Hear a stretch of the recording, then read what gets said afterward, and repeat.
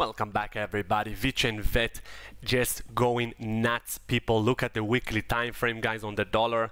Very, very, very high volume coming in. Want to show you the Messari site, what it says. See, number five in the total volume. It's 105 million. This is ridiculous, my friends. Let's look at the chart. Now you can see we broke this horizontal resistance guys okay? This week we broke above it okay? Now we need to close this weekly candle above it. It could end up like a long wick on the top. This is a possibility. I don't see it happening because of the high volume but it is a possibility.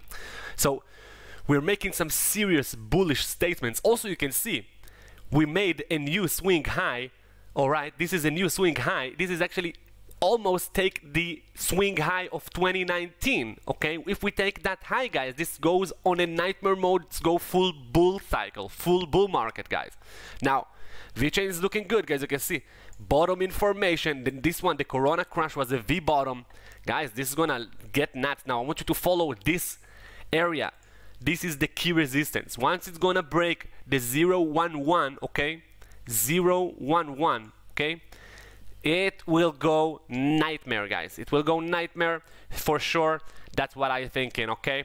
Now let's look let's zoom in on the daily. Let's zoom in on the daily guys see what's going on. You can see very nice very nice ramping up. It's gonna go parabolic. If it's gonna break that one one one it's going to go parabolic okay you can see we're way above this uh, swing high. We closed a daily candle already above it. Two candles actually that's very very bullish. Now we call that trade in the patreon a while ago. We have a bag of VeChain that you can go on the previous videos I made and look at the setup. But have a look on the bitcoin chart. Let's have a look what the VeChain bet, uh, btc want to tell us okay? Now same with btc this is amazing falling wedge breakout guys. This is ridiculous. Now it come very close. You can see this 100 Satoshi mark can give us some resistance. It's already giving us some resistance. But we need to close above this one, the top. You can see that was the top with the wick here. 1110 Satoshis, guys. Once it closes above the 1110 Satoshis, guys, we are golden, okay? We are golden and we're gonna have another rally, okay? This will be a new swing high on the Bitcoin chart for 2020 and also for the last part of 2019 and if we're gonna take that one, this is our next target on the Bitcoin chart, 158 Satoshis, guys. Ridiculous. The altcoin season is definitely here. Guys, some altcoins are popping, some altcoins are not. You should join the Patreon. We trade in all the hot coins. Obviously, we sometimes take losing trades. It's part of the game, but we cut the losses very, very short. Now look at that. VeChain, guys, if it's gonna close above the 110, guys, this is amazing bullish signal. If it close the daily candle above it guys watch this level. 1 110 sorry.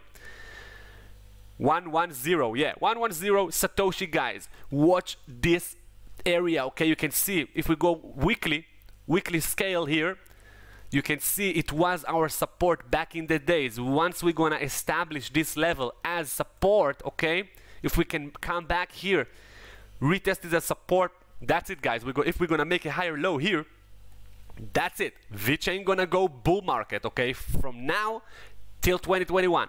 If Bitcoin will crash, obviously Bitcoin will make a higher low, but still, it's technically in a bull market, guys, okay? So you need to shift from bears to bulls. Congrats to all, all the hodlers that making some serious gains, but don't forget to take profits along the way. I see you in the next one. Cheers.